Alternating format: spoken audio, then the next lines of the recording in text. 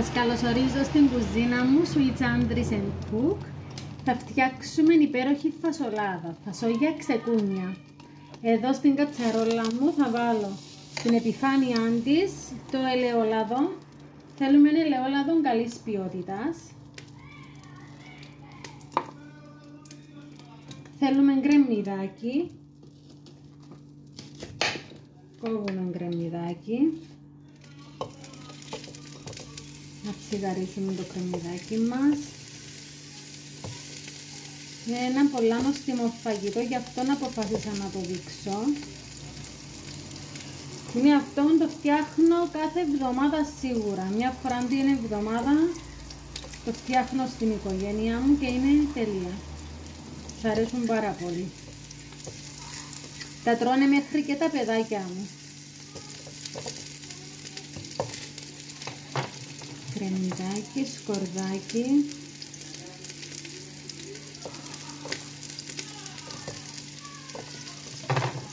ανακατεύουμε να τσιγαρίσουμε εδώ το κρεμμύδι με το σκόρδο.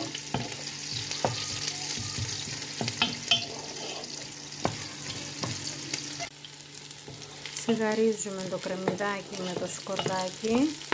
Μέσα στο ελαιόλαδο δεν θέλουμε να το κάψουμε απλά να μαραθεί.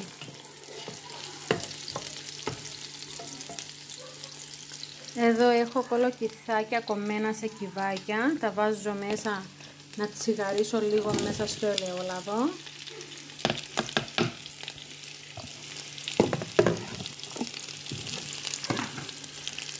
Τσιγαρίζουμε εδώ λίγο ελαφρά. Είναι μια φασολάδα που θα σας μείνει αξεχαστή, είναι τέλεια.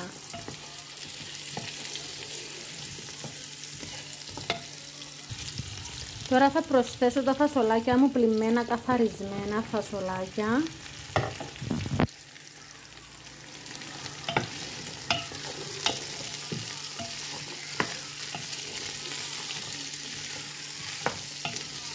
Με μια συνταγή που θα τη λατρέψετε ε, είναι υγιεινό φαγητό η φασολάδα με όλα αυτά τα λαχανικά που βάζουμε. Θα ξετρελαθούν όλοι γιατί μελώνουν εδώ που τα τσιγαρίζω, θα μελώσουν, θα γίνουν καταπληκτικά, θα βγάλουν τις γεύσεις τους. Είναι εξαιρετικό φαγητό. Ειδικά για μεσημεριανών είναι ό,τι πρέπει. Τώρα προσθέτω τα καρότα μου.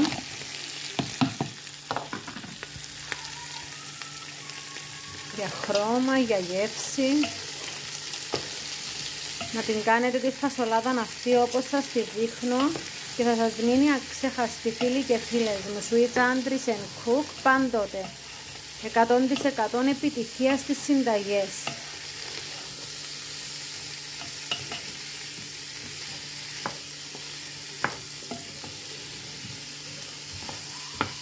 Και τώρα θα βάλουμε τα φασόγια τα ξεκούνια μας.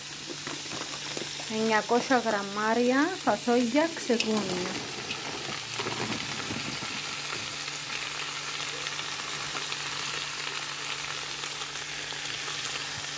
Να κατεβώ όλα μαζί, να τσιγαριστούν όλα μαζί. Φοβερή συνταγή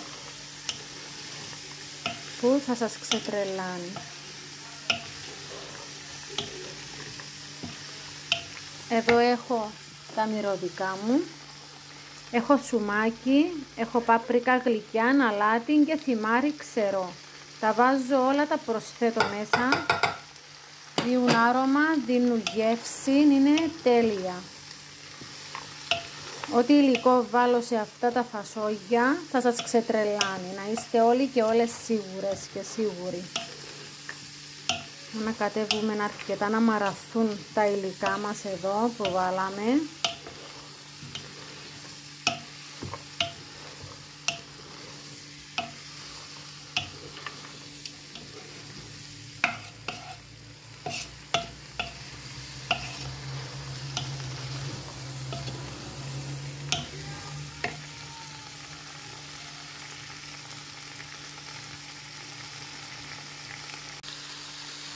Τώρα θα βάλουμε χυμόν από ένα ζουμερό λεμόνι.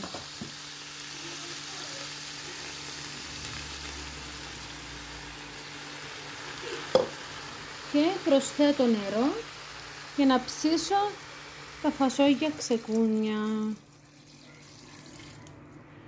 Εδώ. Να προσπαθήσουμε να σκεπάσουμε το φαγητό μας με το νερό. Εδώ. Να βάλουμε ακόμα λίγο για να σκεπαστεί το φαγητό μας. Και θέλει μία ώρα, με, μία ώρα και 20 λεπτά περίπου. Μία ώρα με μία ώρα και 20 λεπτά.